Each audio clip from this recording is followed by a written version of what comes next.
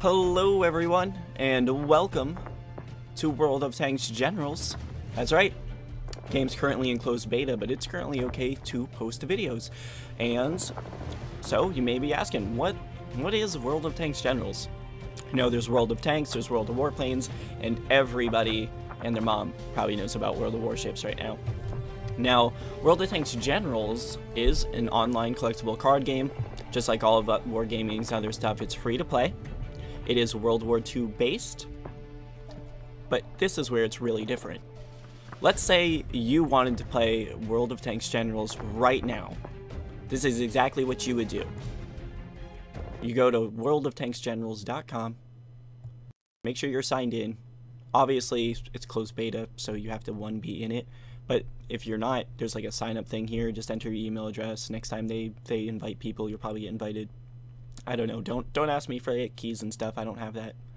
But basically, you just hit play. It loads up. There you go. You're in game. Runs off the client. I'm using Google Chrome currently. Uh, settings for the game are very lackluster right now. You have your help. You have sound on and off. That is it. On or off. That's all you have. Now, honestly, when I play, I mostly keep it off. Uh, I don't know. I'm, it really doesn't matter. The music, music's good. I like the music. It doesn't bother me. It goes with the theme. I like the the effect noises in the background. But since the latest patch, some of the in-game sounds are annoying. There's also full screen, which I'll hit it really quick. It's not going to look right on your screen because of how I'm using XSplit right now. But there is a full screen option, just so you know. Uh, currently, whoops, I accidentally hit F1. Currently, I just like to do this, that way I can sit here and swap between tabs really quickly. Now, as you can see, just like World of Tanks, it still uses credits, it has free experience, and instead of gold, it uses tokens.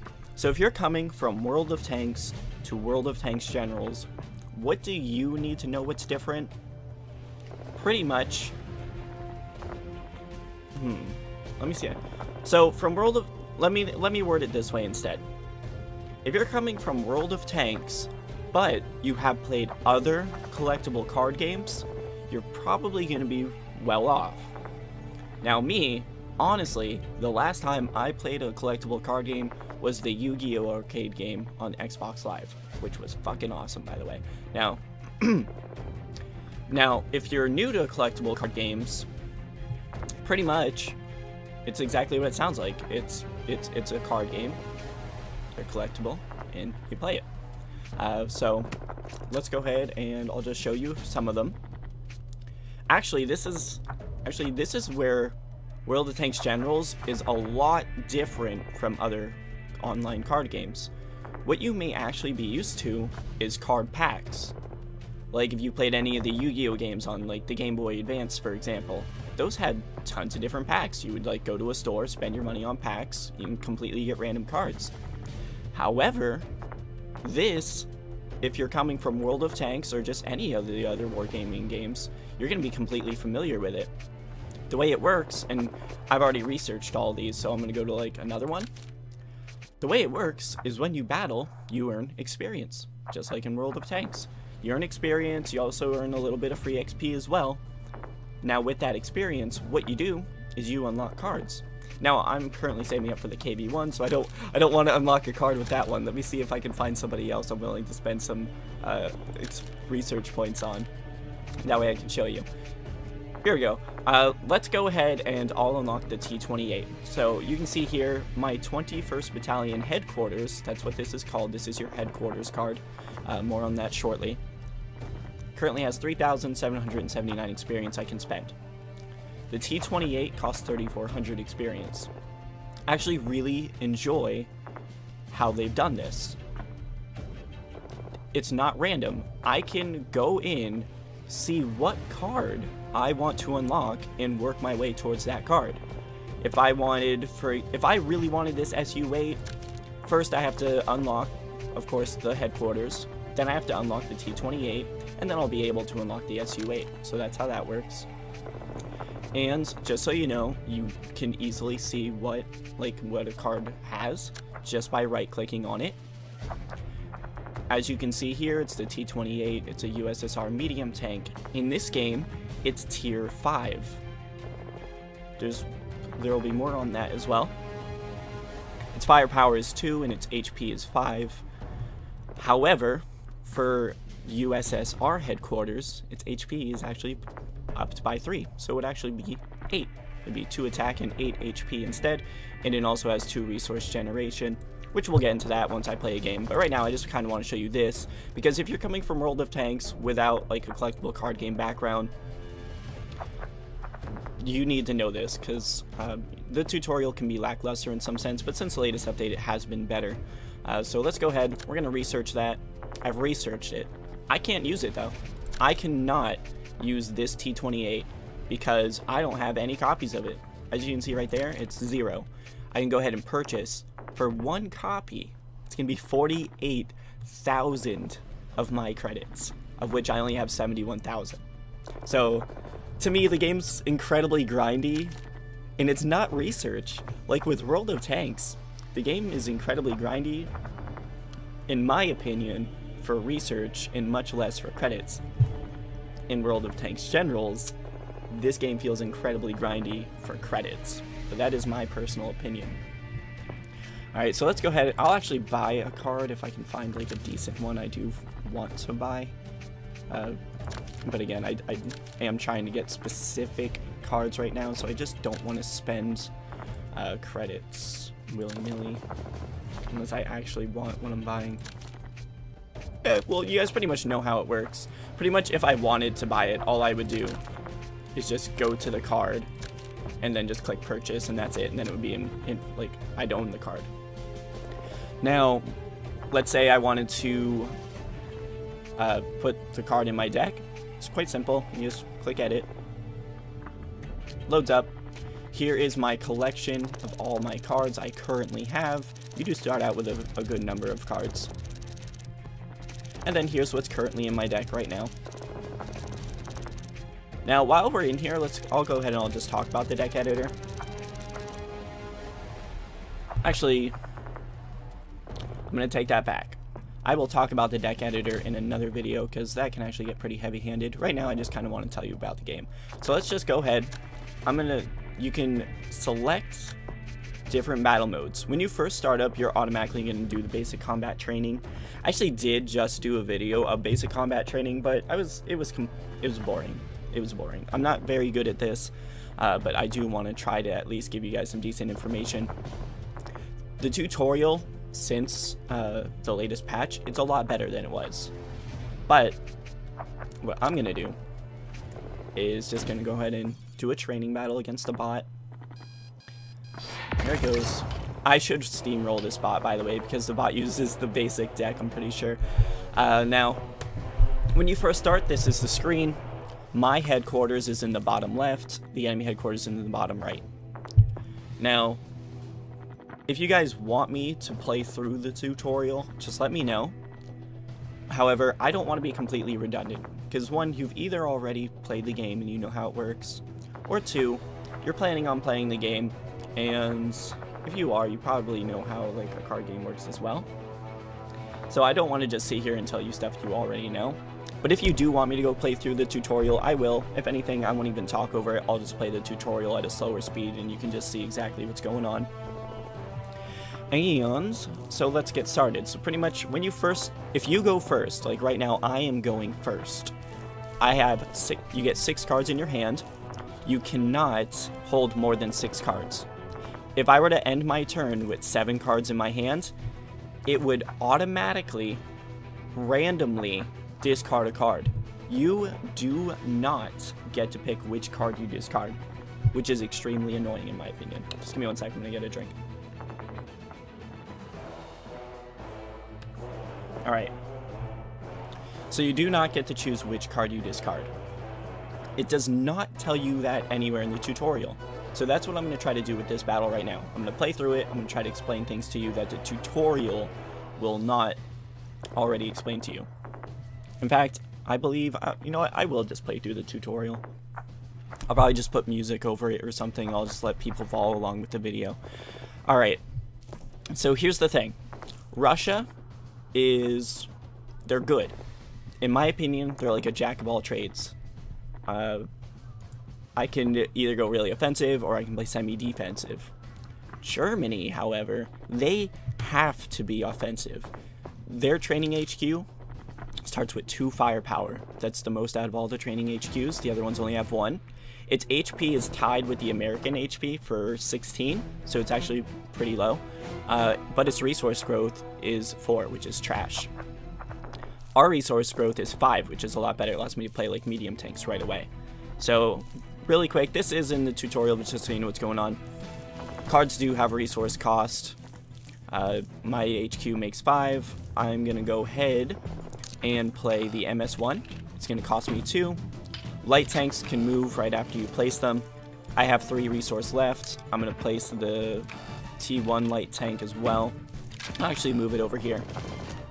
And now, I actually, if you see it, it went up to plus 7. The reason for that is my headquarters makes 5, the T1 light makes 1, the MS1 makes 1. You can see that right here in the top right corner. So next turn, if everything I have stays on the field, I will have 7 resources to play with.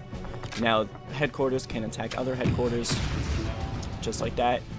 It goes over that in the tutorial. Which, uh, I will, I'll put like right up over here or something. I'll, I'll like link to it or something, I'll, or maybe I'll decide to play in the background, I don't know. We'll, we'll figure something out with that.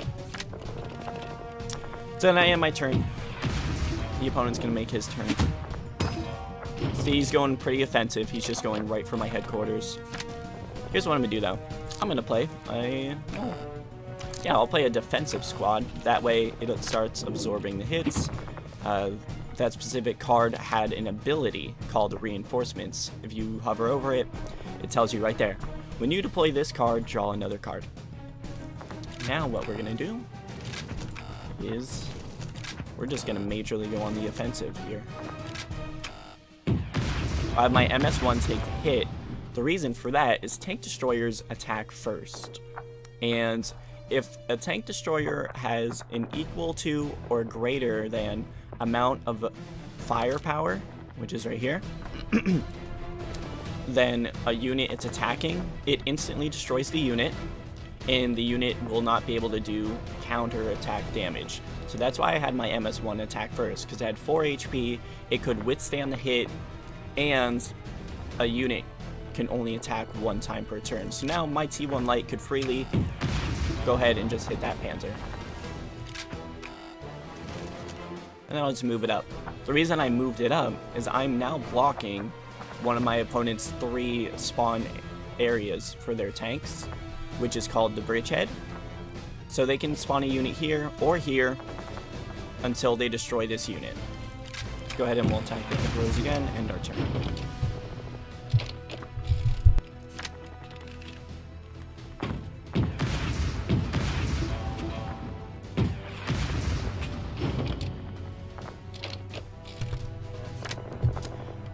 Alright, so as you saw there, my defensive squad absorbed the hit, it lost some HP. That's fine, that's what it's there for. Uh, he spawned a unit and kind of just suicided it into my T1 Light, which is really bad play. But here we are, we're right next to his training headquarters. We'll go ahead and do some damage there. And we have seven resources to play around with. So what we'll do is we'll play another defensive squad and we will spawn a T-26. Move it up. Keep on attacking.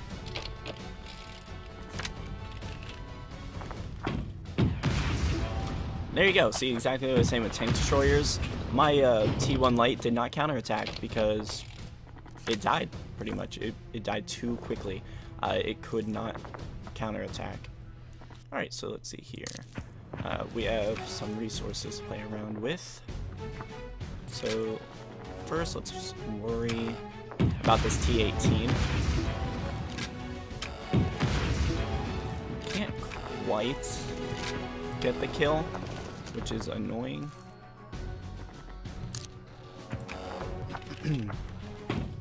play another defensive squad because I have openings for it. Really quick, uh, there's five areas for squads, which is where these cards go. And there's different types. This one's a recon squad, it goes in the recon spot.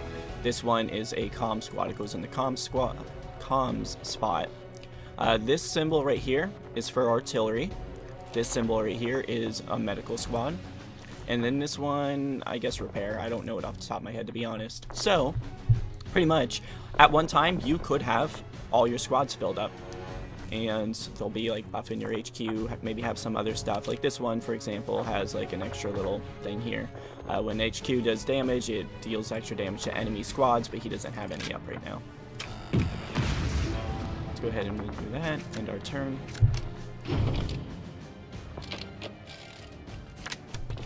You may be wondering why I'm attacking the T-18 instead of just going for his HQ. Uh, against against uh, German headquarters, if I have a bunch of defense stacked up like I do right now, I like to just worry about uh, keeping board advantage, board control. And so, best way to do that is to uh, just keep destroying enemy units, obviously. Now, if you notice there, my medium tank moved diagonally. Uh, that is like a specialty of the medium tank. Light tanks can as well. A light tank can either move two spaces vertically or horizontally, or one space diagonally. A medium tank can move one space in any direction. A heavy tank can only move one space vertically or horizontally, and a tank destroyer it's the same, and an SPG it's the same. So we have eight resources to play with. Hold on a second, my stepdad is yelling in the background.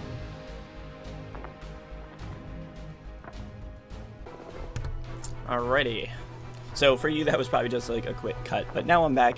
I don't remember where I left off yet. Oh yeah, I was explaining movement, but I already went over all the units. Uh, so we have an open artillery spot here, so I'm gonna go ahead and play my artillery man.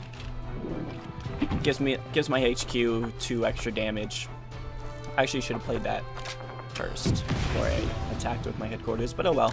And then we'll go ahead and just end our turn. Yeah, like I said, I'm to steamroll the AI just because uh, I'll show you at the end, but it's using the basic deck. Which, by the way, the tutorial does not cover. So I will go ahead and show you that as well. Now let's go ahead and we'll, we'll play our T21. Eh, headquarters can just kill that unit, so let's get that off the board. Alright. So far, so good. If you guys have questions on the game, please let me know. I am going to be making other videos specialized about topics, but I just figured we, I'd just jump right into it and show you what the game currently is. I don't know why that lady keeps appearing there. Uh, she's incredibly annoying. I nicknamed her Bertha Let's go ahead and play an artillery unit. Really quick, the way artillery works, uh, it can attack any spotted unit. To spot a unit, you just have to have a unit adjacent to it somehow, anywhere around it, any of the eight squares around it. Uh, if a unit is next to your headquarters, it will be spotted as well. So then basically my artillery can attack the T6, which I will. And then I'll just have the MS-1 finish it off. That way I can put most of my firepower right onto the enemy headquarters. So he only has 1 HP left. It's pretty much game here next turn.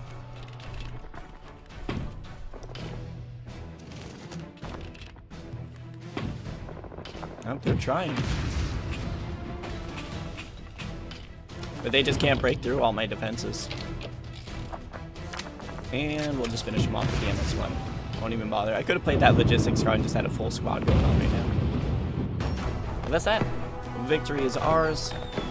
Now, as I was saying before, uh, the the uh, AI just uses like the basic deck of that tier, pretty much. Uh, so you can see right here, deck power. Mine was four times better than theirs. Uh, 40, and mine was 164. You will never, ever, ever fight somebody with a 40 power deck against a 164 power deck, but I will talk about that more in my deck edit editor video.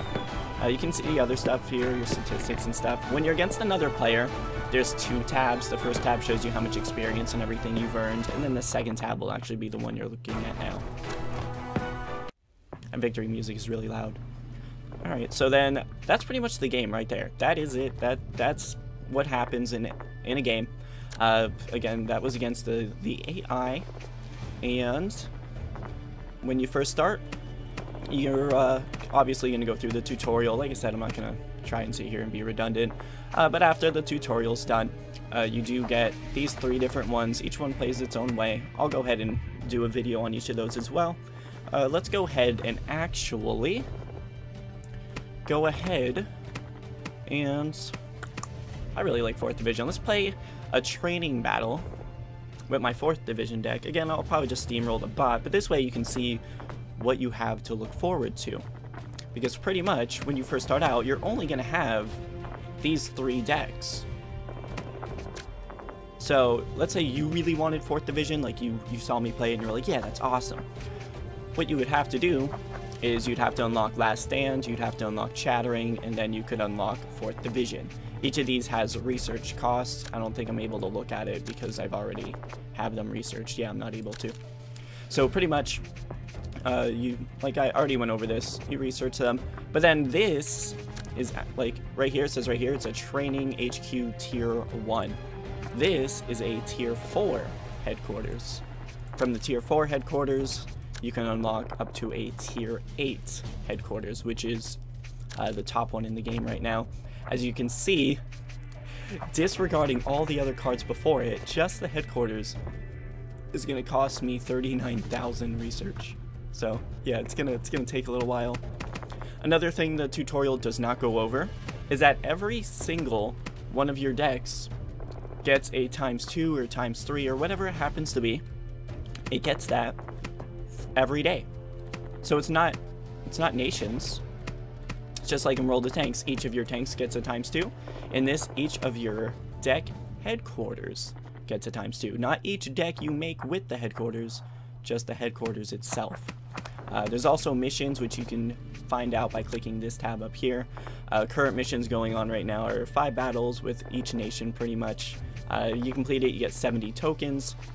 Uh, there's destroy 50 enemy units, deal 500 damage.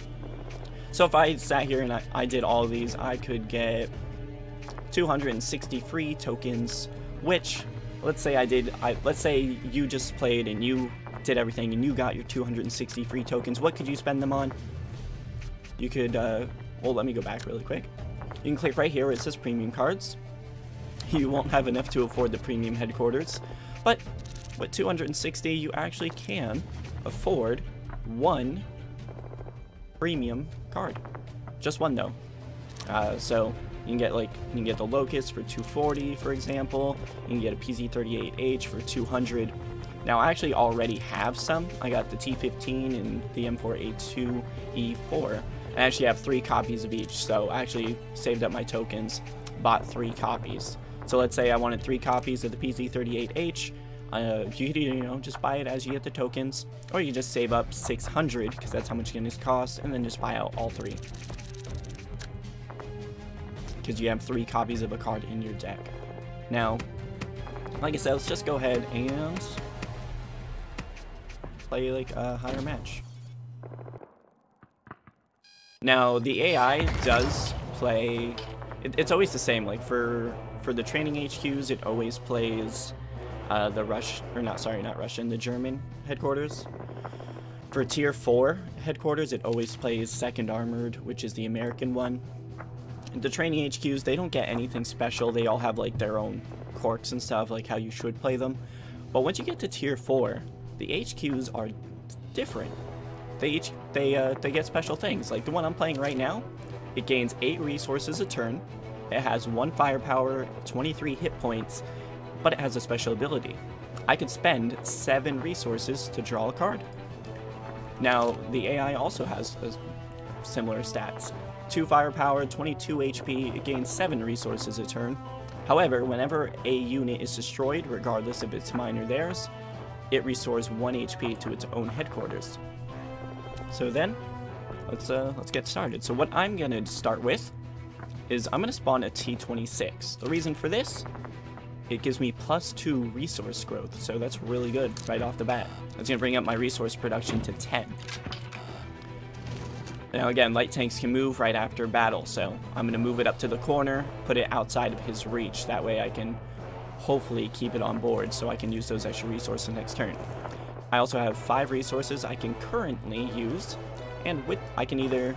And with that, I'm actually going to go ahead and spawn another T26. That'll bring up my resource production to 12. And then with my last two, I'll spawn my AT1. Used up all my resources that turn. AT1's a good card in my opinion. It gets plus one resource growth. It's a tank destroyer, so again, it always fires first. And it actually has a special ability, Camouflage. This unit cannot be attacked by headquarters or SPGs. So pretty much anything ranged, it can't hit it. So it's actually a pretty annoying card to deal with. Now, one thing that I always ended up forgetting when I first started playing was that you could attack the enemy headquarters with your headquarters. So do try to keep that in mind when you're playing. Uh, if you miss a turn to do that, that actually really hurts. Looks like we got a similar setup going on right now. The card they just played, that was an order. You think of it as like a one-use card that costs resources pretty much. Uh, or like a power-up or something. So like that, we have uh, 13, 13 resources to use. Now, I have a plan in mind. I'm gonna play my SU-5. The reason for that, you might be wondering, oh, one attack seems kind of shitty. Eh, but for Russian HQs, it does an extra 2 damage to SPGs and tank destroyers, so I can do 3 damage to that T-18, just like that. And then I still have 8 resources. We'll go ahead and play Artillery Man. And then we'll just go ahead and attack the T-18 with our artillery. That way our AT-1 doesn't take any damage. And I'm going to start advancing on him. I'm going to try to put the pressure up.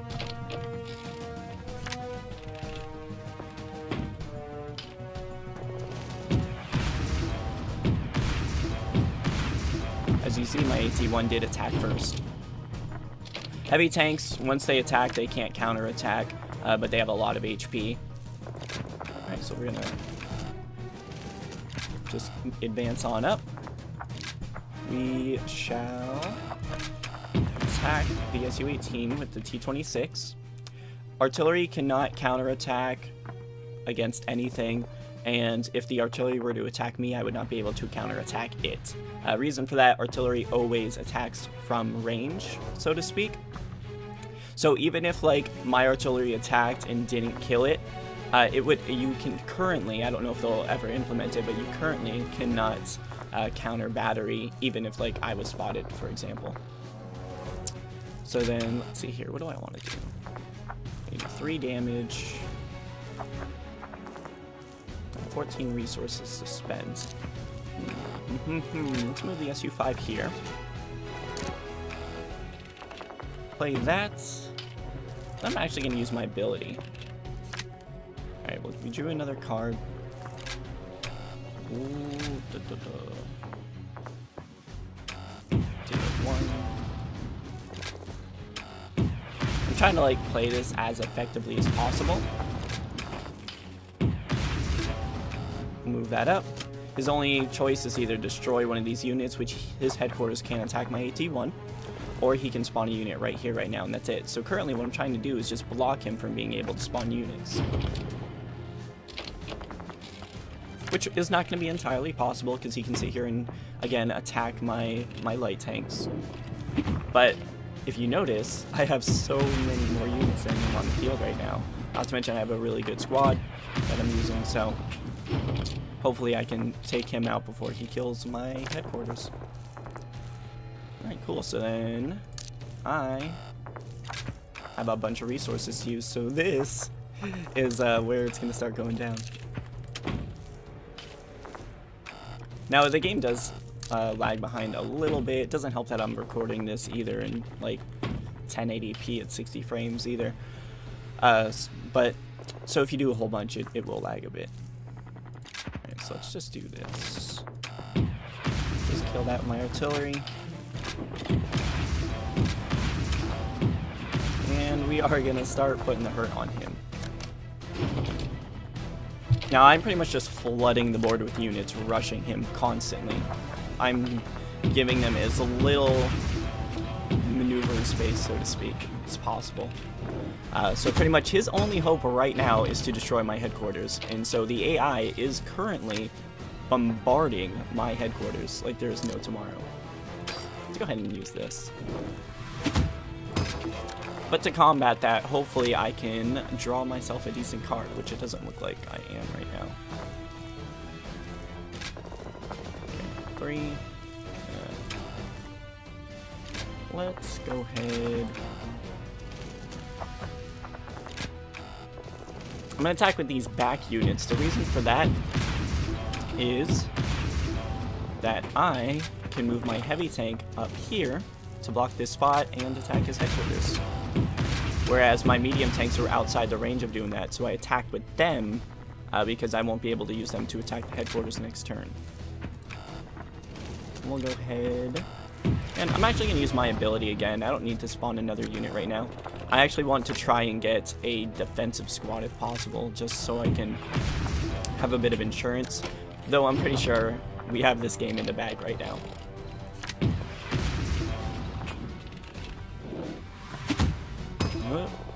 Oh. Alright, so they brought me down to 3 HP. It was extremely close, but that's pretty much going to be game right there.